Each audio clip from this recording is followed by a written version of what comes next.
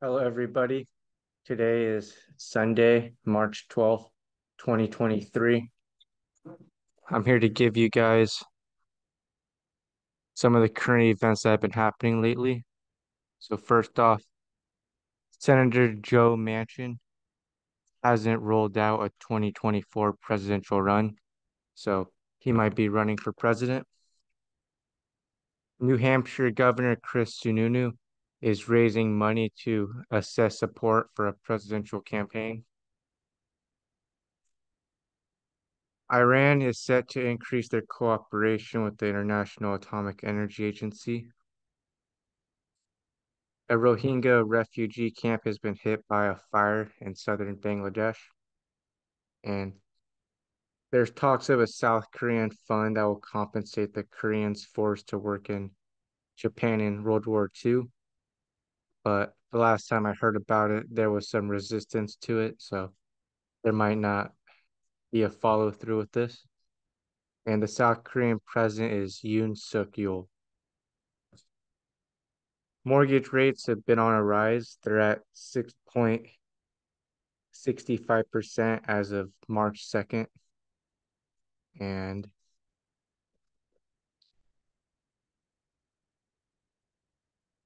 uh, on Twitter, there's been thousands of pro Trump bots that have been attacking Ron DeSantis and Nikki Haley. They're contenders for the Republican primary or presidential election for 2024 and I believe they're orchestrated by Russia, but there's been a lot of them out lately. Gary Rossington, the lead guitarist for Lynyrd Skynyrd, has passed away at age 71. And uh, a lot of people are facing charges after an apparent attack on a police training center in Atlanta or outside of Atlanta. And the Biden administration is considering to detain immigrant families. There's been a, an outbreak of e-bike fires.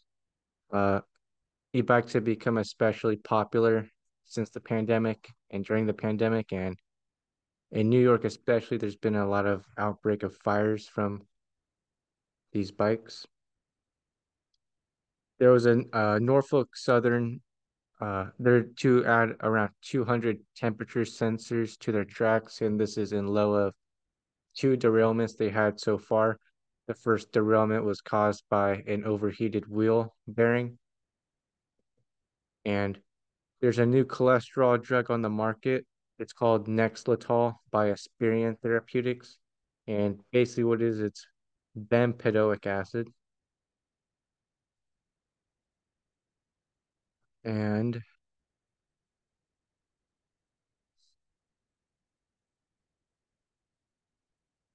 the 10 year treasury note, the yield on it has slid to 3.974%, and it was 3.981% Monday. And recently, Fed Chairman Jerome Powell testified to a Senate committee Tuesday discussing central bank policy. So basically, what the senators want to know is what's the outlook for uh, monetary policy going forward into the next couple years because they've been fighting inflation for a while and they they just want to know how much longer are they going to keep rates higher. So that's what he was testifying about. Binance US has won approval to take over thousands of customers' accounts. They're from Voyager Limited. They went Voyager Digital. They went bankrupt. Uh, I don't remember when. I think it was within the past year. And this is overseen by Judge Michael Wiles of the U.S. Bankruptcy Court of New York. For the first time since 2007, the yield on the two-year Treasury note has topped 5%. And the last time I heard about it, it was at 5.011%. And Lego chief executive Neil Christiansen, uh, Lego, they've done really great lately. American toy maker Mattel, uh, Barbie maker, they're outpacing them as well as Hasbro.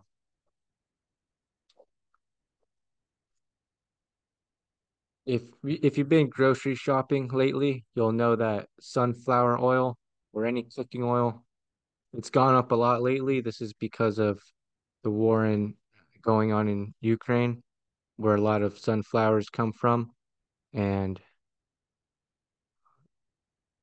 the price of sunflower oil peaked at 2,414 in March, and it's fallen to 1,049 a ton.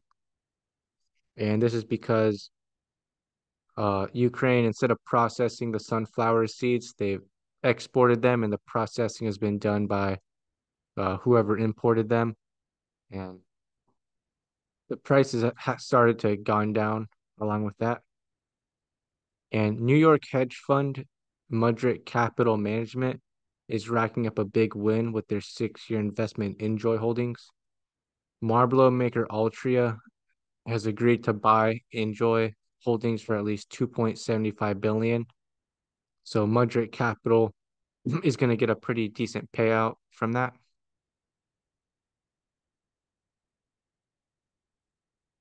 Uh, the RV maker Thor Industries, they've cut their outlook on growth Airstream and Jayco are brands by Thor Industries. They're based in Elkhart, Indiana, and they've cut sales guidance by about a billion dollars, putting them at 10.5 to 11.5 billion dollars for the year. Elon Musk has taken over Twitter. Twitter's known for not generating uh, enough money and being in debt, but he's done some switches at the company where he says they'll be cash flow positive in months. Part of those is adding the you get the blue badge or the verification badge for I think eight dollars a month, and I think that's one of their that's one of their big cash flows, and so is advertising. And he's also cut. I think he's done some reshuffling with the organization and let people go, fired some people some to make them more more uh more efficient financially. Germany has launched a 5G review of its of its network because they're too dependent on Chinese technology like Huawei and ZTE Corp and they want to ban Chinese suppliers. So right now they're just looking around at any vulnerabilities they have and how the, how they can find a new source for their telecommunication equipment. South Korean companies SK Hynix and Samsung, uh, they they can get some of the money from the U.S. CHIPS Act subsidies. I think it was fifty-two billion dollars, but they're they're worried about having to submit info about their management and risk to uh, the government to apply for the subsidy. So they're hesitant, but they can get that money if they want. A judge has rejected the Missouri gun law called the Second Amendment Preservation Act. And their governors, Mike Parson. And it basically means it's illegal for state and local officials to work with federal officials to enforce laws or orders that go against the Second Amendment. So that's been rejected. Federal officials were worried about investigating, uh, enforcing gun laws because they didn't want to get targeted by the federal government for going against the law, but the judge has taken that down. Tucker Carlson's segment on the January 6th riot has been criticized by Republican uh, by Republicans and Democrats because they think it's too too controversial. Yeah. Six Palestinians were killed in a raid at the Jenin refugee camp. Abdel Fattah Farouk, he was a Hamas member, where 65 Palestinians and 14 Israelis were killed in the West Bank. Have been killed in the West Bank since 2023. more than a million French citizens are protesting uh, on Tuesday about Emmanuel Macron's plan to lift the retirement age from 62 to 64. Fran- France's pension system, it's it's in a really bad shape because people are living longer. There's not enough money to fund their pension system, and the only way to fix is for people to retire later, and people the people aren't happy about that, so they've been they've been protesting about that for a while. Defense Secretary Lloyd Austin made an unannounced visit to Baghdad. He talked with Iraqis officials about the continued troop presence. Uh, basically, what Lloyd Austin wants is that they're going to be troops there, but they, they don't want to participate in any of the raids that the local military is going on, so they're going to hold back. Women celebrated International Women's Day this week, and women are rejoining the workforce, adding strength to the economy. And crypto bank Silvergate is to close and liquidate. They've gone bankrupt. So is another bank. I'll tell you about that later. And Solanezumab by Elo Co. They're a drug maker. Uh, one of the drugs that they poured a lot of resources into developing, Solanezumab, failed to prevent memory loss. The trial consisted of 1,100 people, ages 65 to 85 years old. So Boston City Council approved a rent control measure 11 to 2. Their mayor is Michelle Wu. Uh, yeah, rent's been sky high over there, and they've had to resort to rent control to try to tame the market. And uh, it's not Norfolk Southern this time, but an MTCXX train derailed in the New River Gorge National Park and Preserve in West Virginia. And the Senate voted 80, 8114 to back the city's revised criminal code. So there's been a lot of pushback about the DC, the new DC criminal law, and basically they're getting rid of the law which eliminated all mandatory minimum sentences and reduced the maximum punishment of certain crimes. In DC, crime's been really high lately. There's been a lot of car thefts and thieves. And so they came out with the new criminal code, but people were saying it's uh it's not the right thing to do. Biden is to unveil budget blueprint Thursday. The he says that the plan for his blueprint is that it'll cut the deficit by three billion, include 835 billion in defense. Prescription drug related proposals would save 200 billion. And the last thing I heard about it is the top Republican Senate of the Armed Services Committee, they want the military spending to be 5% above inflation, include a 5.2% pay raise for service members, and a 3.2 increase in defense spending. That that is a 3.2 increase in defense spending from last year. Uh, Anthony McRae, 43, his note was revealed that he was hated and lonely. He's responsible for killing three people and injuring five at a Michigan State University uh, incident, and he committed suicide during that incident. And yeah, that's that's all about that story. They just found his note, and airfares have gone up a lot this year. There's been a search for popular spring getaways. People, places where the weather is warmer, ticket prices have been higher, and the average ticket price to Las Vegas has gone up 41%. Okay. GE is competing with uh, Raytheon or Pratt and Whitney on the new F-35 engine. So Pratt and Whitney, Whitney, they they build most of the military's jet engines, but GE is saying that they can give a better engine for the F-35 and they're lobbying Congress to provide support for the new engine type. That will add a lot of business to GE, where the production of jet engines is a really big income source for them. GMC, on the other hand, for electric vehicles, they've been really slow with their electric vehicle production. They've been stalling with the Cadillac Lyriq and the GMC Hummer, and their CEO is Mary Barra. Domino's Pizza, uh, known as DPC Dash in Hong Kong, operates pizza stores in China. They've refiled paperwork for Hong Kong IP, an IPO in Hong Kong. Okay. And the shares of the Ad Adani family in India, a really famous business family, have risen after the family prepaid loans worth 902 million.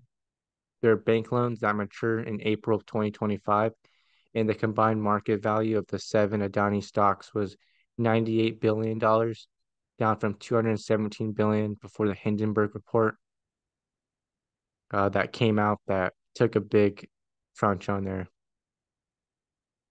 on their business. Microsoft is planning to add AI tools to their business software systems, uh, like ChatGPT, and the shale boom wanes as gushers dry up. So, America, we produce most of our oil by shale. The average well is putting out 6% less oil than the prior year. And in Syria, an airstrike on the Aleppo International Airport is hindering earthquake aid. So if you remember a couple weeks ago or a month maybe, there was an earthquake in Turkey and Syria, killed I believe 44,000 people, injured many more. Uh, you had contractors, uh, building contractors in Turkey that were arrested because their buildings were against the business, uh, the the construction code. So if they had a building that toppled, they were arrested just because there was an earthquake. Uh, yeah, a lot of the aid comes in through the Aleppo National Airport, and I believe the airstrike was carried out by Israel, so that's hindering a lot of the aid. Okay. U.S. The U.S.'s largest banks lost billions of dollars in value Silicon Valley Bank lost $2 billion after selling assets. Their shares fell 60%. And I believe Silicon Valley Bank, they're looking at getting out of business or being taken over. The four biggest US banks lost $52 billion. Uh, more on President Biden's budget blueprint. It's a $6.9 trillion budget. And he wants to raise taxes on the wealthy and corporations to get more tax revenue. He wants to quadruple the 1% stock buyback tax, as well as raise the top individual tax from 37 to 39.6%, and raise the corporate rate tax from 21 to 28%. He also wants to increase tax on Americans, uh, businesses that do business abroad in foreign countries. Okay. Elon Musk is planning a utopia in Bastrop County. It's for SpaceX, Tesla, or Boring employees. And the houses are designed to charge uh, below market rent just before the employees. If the employees get fired, they have to move out. And it's going to be near where they're where they work. And that's coming out pretty good. I saw some pictures of it. Still a work in progress though. Mm, but he owns a lot of land in Texas. Elon Musk does. Steve Watkin, uh, that's not relevant. Robert Blake, an actor acquitted on his wife's killing, has passed away at 89. He was a star in Cold Blood. He was an actor back in uh before 2000, I think 80 the 80s. There's been a new drug to hit the market with a hefty price tag. Uh, or in general, drugs for cancer and rare diseases have they have a really high uh, cost, usually twenty thousand dollars a month. And the American Association of Railroads has issued an advisory calling for certain rail cars to be taken out of service. Uh, this is because they want to reduce accidents because there's been three accidents in the last month. So they're just taking some precaution. Manhattan District Attorney Alvin Bragg has invited Trump to testify to grand jurors on his hush money payments to porn star Stormy Daniels. He had a, an affair with her at one point. That's the rumor. And they're inviting him to come tell his side of the story. The 11th Circuit Court of Appeals has upheld the Marjory Stoneman Douglas High School Public Safety Act. It constitutionally bans adults under 21 from purchasing guns. The gunman that carried out the attack at the high school, Marjory Stoneman Douglas, he was under 21. And by this measure, they're restricting guns from people under the age of 21, reducing gun violence or the threat. And in California, water managers are fast tracking projects to harvest storm runoff. State Department of Water Resources is fast tracking them. And they want to store 1.6 trillion gallons of water in underground aquifers. Medicare and Social Security consume 10.5% of GDP by 2033. Patients live longer. Uh, there's new treatments that cost more. Uh, that means, you know, those all cost more money and inflation that raises the per capita expenditure. So they're trying to find a way to budget the budget the money so you know they can they can pay for all these things in the future. And in Ponte Vedra Beach, Florida, golf news, Chad Ramsey won the Players Championship with eight under 64. He was one point away from Collin Morikawa, who got second place. Uh, one point above Collin Mori or below in golf, Morikawa, and so he got second. Uh, the general data protection regulation uh, companies could be violating European privacy laws if they mishandle data after a cyber attack. So a company can be hit by a cyber attack and they might not back up their data or they might mishandle it or it gets corrupted. And if they lose that data, you know, they're held accountable by European privacy laws. A Nevada biodiesel refinery, Rise Renewables 2, filed for bankruptcy after a loan default. They plan to produce 7,500 uh, barrels of refined diesel fuel a day. And Hernan Lopez was convicted of conspiring to commit wire and bank fraud. I think he was a Fox News affiliate. He tried to bribe FIFA officials to broadcast the game. And Silicon Valley Bank has been taken over by the Federal Deposit, uh, I think it's insurance, the FDIC. The new entity, the Deposit Insurance National Bank of Santa Clara, is what it's been renamed to. And Boeing has been authorized to resume deliveries of the 787 jet so the 787 jet, you had two crashes. You had one in Africa and one in, I think, Indonesia. And there was something with the, I think, the autopilot system. So they put the plane on hold and they were given a year to recertify the plane and it's been recertified and now it's coming back out. So Saudi had the, uh they restored the relationship with Iran that was brokered by China. Iran will halt against Saudi Arabia attacks against Saudi Arabia, including Houthi rebels in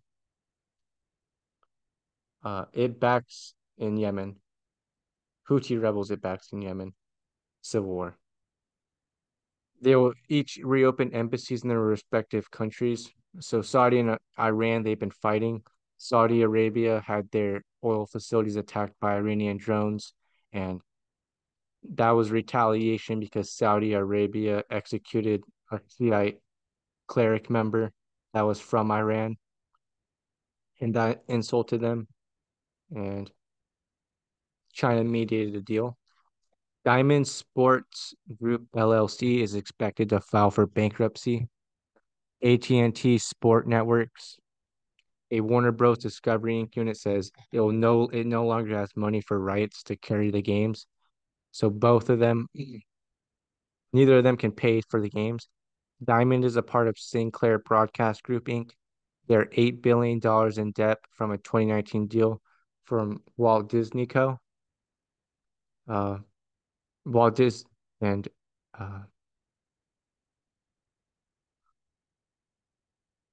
and uh, yeah, an $8 billion in debt from a 2019 deal for Walt Disney Co. regional sports network that uh, they took control of. House Republican want tight restrictions on government spending in exchange for approving a debt ceiling increase. So the Republicans, they don't mind increasing the debt ceiling. They don't they don't like to do it, but if they are, they want they want to know what the money is going to be spent on. Senator Roger Wicker, the top Republican Senate Armed Services Committee, uh, he he was being vocal about what they want the money to be spent on, and a medical transport helicopter crashed in North Carolina on Thursday. It was an MC-135 helicopter. Uh, everyone survived. There were no fatalities, luckily. And Governor Ron DeSantis, that's attended for the 2024 presidential, uh, presidential election. He hasn't made it official yet. He plans to do that in May or June. He went to uh, uh, Iowa, a really big battleground state, and he met with um, Iowa Governor Kim Reynolds, who plans and he plans to enter the yeah the race not too long from now. Meta, uh, Facebook, Instagram, they plan to cut thirteen percent of their workforce, and projects cuts include wearable devices, and that's made in their division called Reality Labs. Their chief financial officer is Susan Li. DocuSign, uh, their shares slid 23% to $49.69, and they're down the last 12 months by 47%. DocuSign, they're an electronic signature company. They were they've taken off since the pandemic and they've been really popular because uh, in the pandemic there was a lot of video conferencing and people couldn't meet face to face. So they were doing electronic signatures and they've got they've been a lot of a lot more well known since then. Vice Media has received four hundred million dollars from Group Black.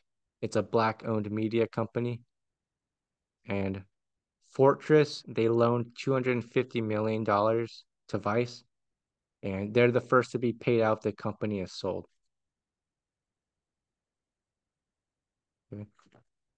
Uh, there's a planned uh, north optic fiber cable. They want to implement from it'll require it'll cover 10,500 miles it costs 1.2 billion dollars. In this region there's not a lot of uh, good connectivity in the arctic area and up in those regions it takes a really long time to check emails, upload medical scans, do business.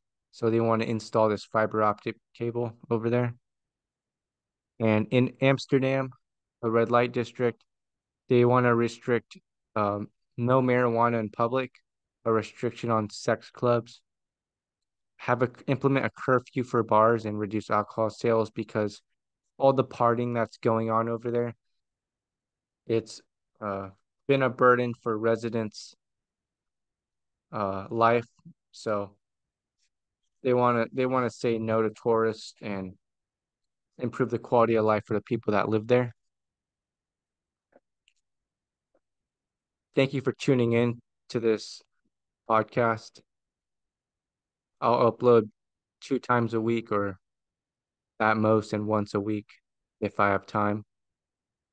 If you have any suggestions or topics you want me to cover, let me know, and I'll provide a more in-depth analysis next time. Have a good day.